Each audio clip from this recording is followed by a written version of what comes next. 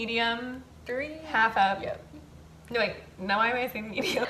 I'm like, okay, Yeah. I'm like, you can One do max. this. I know it's a little bit too much for sure. So cold, but we're always coming back for more. Hi everyone! Hi, guys. I'm here with Shayla. We are currently charging my phone. So if you're wondering Yes, it about died. this cord. We're gonna be showing you three half up braid hairstyles that are great if you have medium short hair. Yeah, if you have long hair, that works too, but these styles do work for short hair as well. Because I've noticed with a lot of braid styles, mm-hmm. I've, all the pictures you see have super long. Yeah. extensions. Their hair is way thicker yeah, than hair real comes down to hair their waist. and way longer.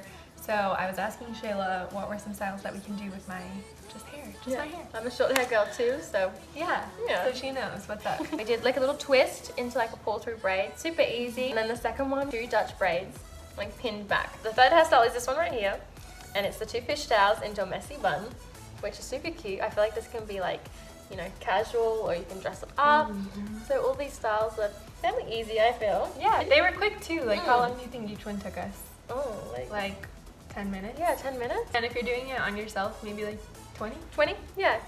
The first hairstyle I'm going to show you how to do today will be the pull through braid. So I'm going to grab a section of hair from each side of Julie's face and then tie it together. Once I've tied it together, I'm actually going to flip it inside itself. This is called a topsy tail. Once I've done that, I'm going to pin up the section I just tied off out of my way and grab a new section underneath it and tie that off with an elastic. Now splitting the first section in two, I'm to put the last one through the middle and tie that underneath. I pinned it up out of the way as you can see just to make it easier for yourself. Now you're left with two tied off sections and now that that's done I'm going to just pull out the hair to create a bit of volume and texture. This is the process of a pull through braid so just continue these steps until you finish the length of her hair.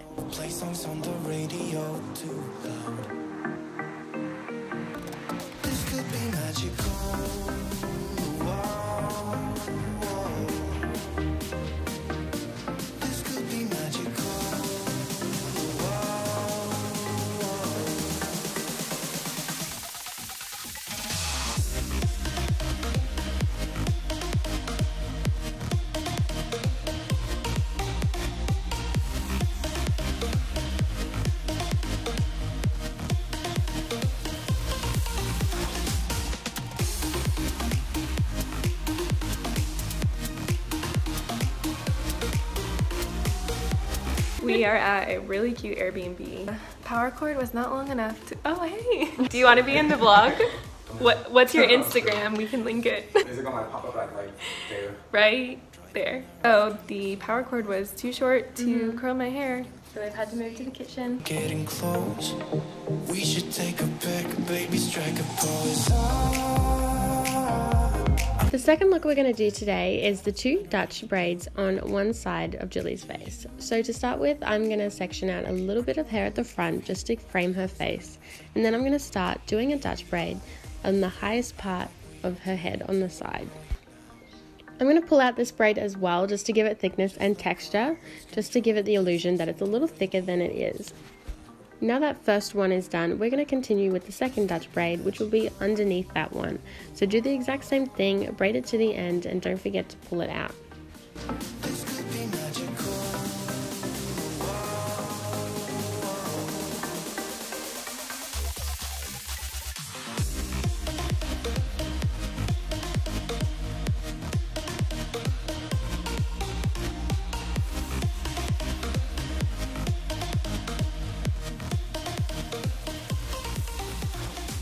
Now these curls are still in from when I just curled Julie's hair, so I'm just going to get my little comb and tease them up slightly to give them more of a messy, wild texture.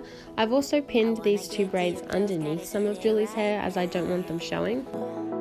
I wanna push all the limits with you right now. The final hairstyle I'm showing you is the two fishtails into the bun. Start this one off with parting her hair down the center and starting a fishtail on one side of her head. Just like the other braids I've done with you, of course, I'm going to pull them out to give them texture and add it to that bohemian look that I love.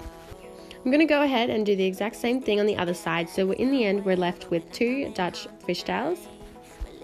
And now I'm going to pull them back to the back of Julie's head and literally use a little tiny elastic and turn it into a messy bun.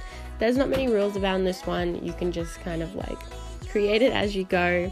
You know, classic messy bun.